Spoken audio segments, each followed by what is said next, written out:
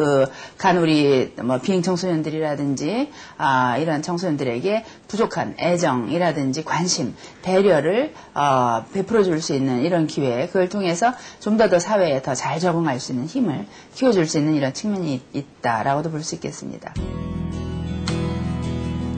한때 방황의 시기를 보낸 청소년들은 한결같이 내 마음을 알아주는 사람이 없어서 힘들었다고 말합니다. 불안하게만 느껴지는 미래에 대해 함께 고민할 수 있는 정서적 지지자가 필요한 것인데요. 멘토 프로그램이 중요한 이유도 바로 여기에 있습니다.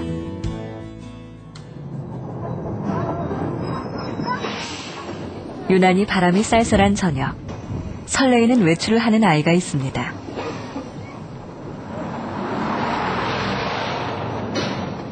두 달 전 예술종합학교를 퇴소한 아이 송화. 오늘은 그곳에서 만난 멘토 언니 윤선 씨를 만나러 가는 길입니다.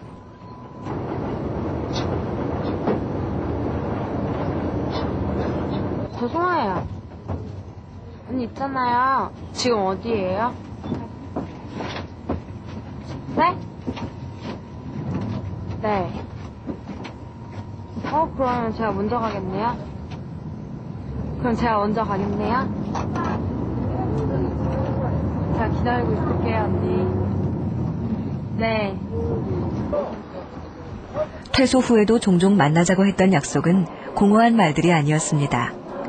안산예술종합학교에서 멘토와 멘티로 만났던 윤선 씨와 송아는 이제 친자매 이상의 언니 동생이 됐습니다. 한 달 만에 만나는 건데도 전혀 어색하지 않은 두 사람.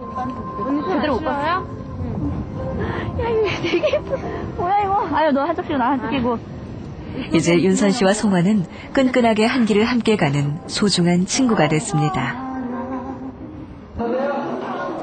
우선 저녁 식사부터 하기로 했습니다. 교양 과목 수업을 듣다가 우연히 멘토 프로그램에 참여하게 됐던 윤선 씨. 점점 밝아지는 송아가 윤선 씨는 고맙고 형제도 없이 늘 외롭던 송아에겐 마음이 잘 통하는 언니가 생겼습니다.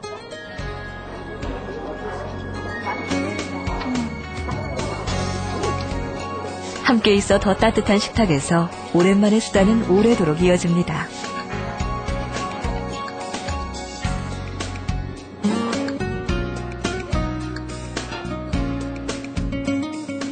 지금은 눈빛만 봐도 통하는 언니 동생이지만 처음부터 두 사람이 이렇게 편했던 건 아니었습니다.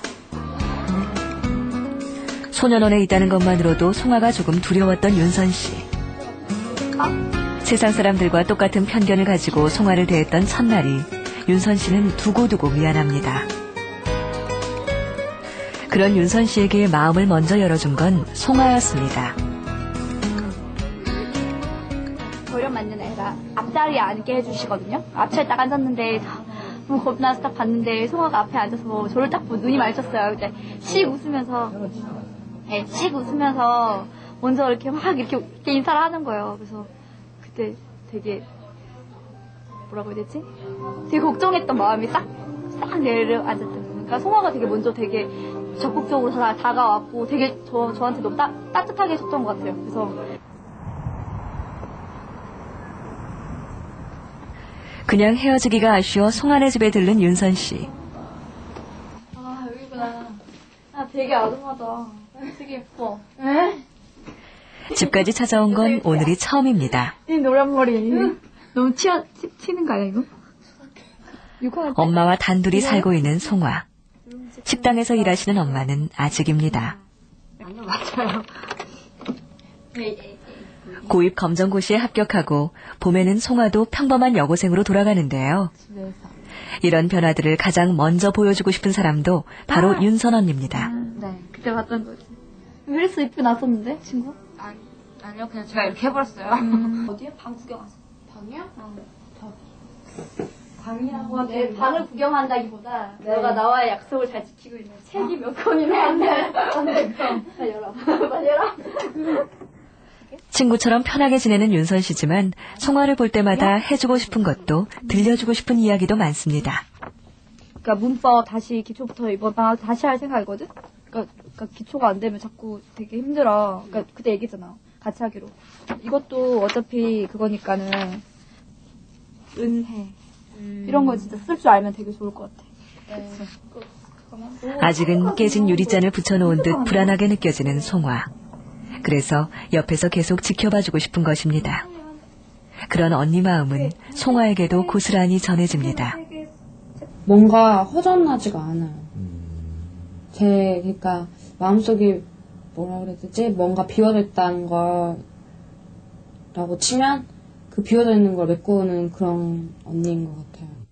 지금은, 진짜, 친언니보다 더 친한 언니 같고, 그리고 계속 지금 이 사이였으면 좋겠고. 아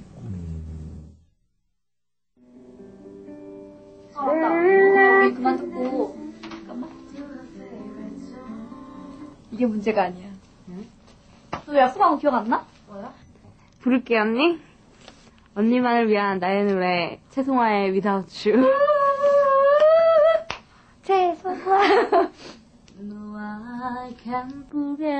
세상에 다시 설 수 있는 용기와 자신감을 준 사람. 세상을 살아가는 지혜를 나눠준 고마운 윤선 언니에게 송아가 주는 마음의 선물입니다.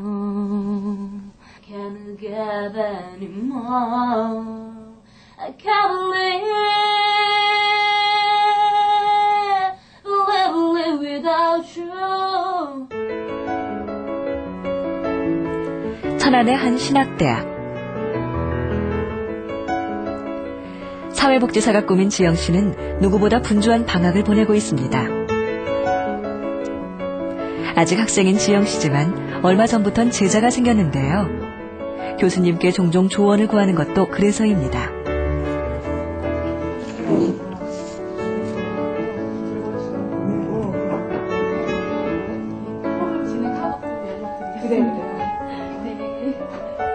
오늘은 지영 씨의 멘티를 만나는 날. 동생이자 제자인 소인이를 기다리는 시간은 언제나 초조하고 긴장됩니다. 지영 씨 역시 아직 학생이니까요.